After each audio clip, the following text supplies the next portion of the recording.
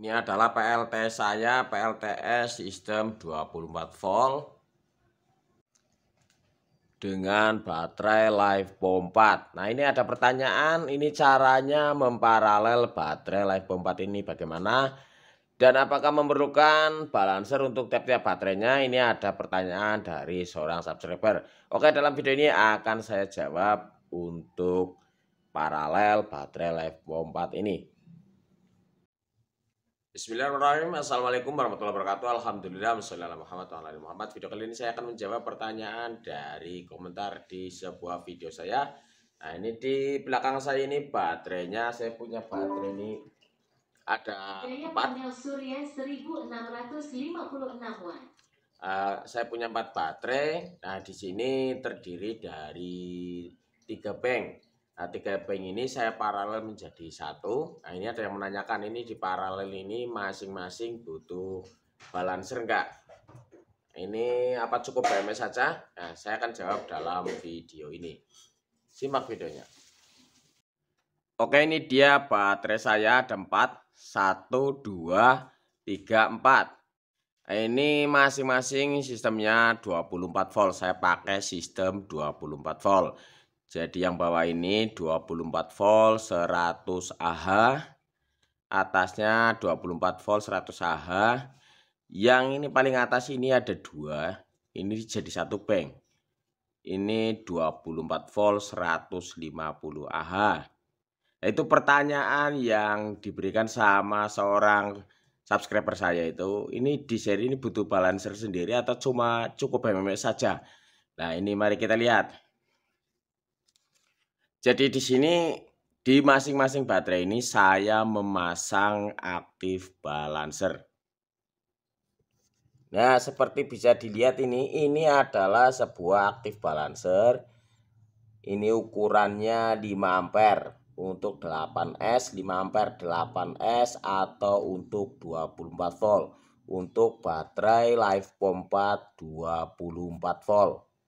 Ini masing-masing baterai ini punya aktif balancer sendiri. Itu juga yang di dalam ini yang hitam-hitam ini juga sama memiliki aktif balancer di dalamnya. Nah, misalnya cuma BMS saja, misalnya kan itu kan pakai BMS, BMS ini semuanya ada BMS, selain aktif balancer ada BMS-nya juga. Misalnya tidak pakai aktif balancer, cuma mengandalkan BMS saja, apa bisa digunakan? Saya jawab itu bisa.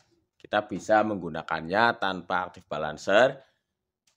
Cuma mungkin kalau terjadi ya dipastikan dulu ketika merangkainya atau merakit baterai live bombardnya itu di top balancing, uh, bottom balancing atau top balancing itu dua-duanya jika perlu itu dilakukan semua.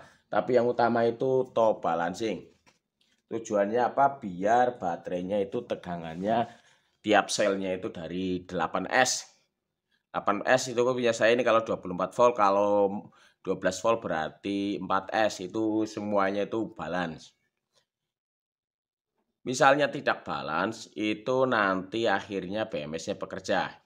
Jadi semuanya ini ada BMS-nya, ini BMS-nya itu hampir tidak bekerja, hanya sebagai fitur keamanan saja. Tujuannya untuk cut off atas dan cut off bawah. Cut off atas misalnya baterainya sudah penuh, maka dia akan memutuskan arus chargingnya. Sedangkan cut off bawah, jika baterainya mau habis, ini baterainya mau habis, tegangannya itu masing-masing 2,5 volt tiap selnya, tugas BMS itu akan memutus memutus arus discharging atau arus ke inverter itu tujuannya BMS misalnya tidak pakai BMS, baterainya sampai kering kehabisan, sampai 0 volt, itu maka baterai live pompa atau baterai lithium lainnya itu akan mengalami kerusakan. Itu tugasnya dari BMS atau fungsi dari BMS. Makanya wajib pakai BMS. Kalau nggak pakai BMS bisa, ya bisa. Tapi ya ekstra, kita harus ekstra menjaganya jangan sampai kehabisan. Kalau tidak pakai BMS berarti yang diandalkan itu LVD, low voltage disconnect sama mungkin HVD, high voltage disconnect mungkin yang dipakai itu dengan fitur cut off dari solar charge controller itu yang dipakai atau yang diandalkan. Kalau saya memakai semuanya di SCC ini juga ada cut off-nya, di LVD ada, di BMS juga ada, semuanya saya gunakan. Tujuannya apa? Saya berhati-hati biar baterainya tentunya awet karena waktu BEP atau break even point atau return on investment untuk panel surya balik modalnya ini saya pasang panel surya ini lama, bisa di atas 10 tahun.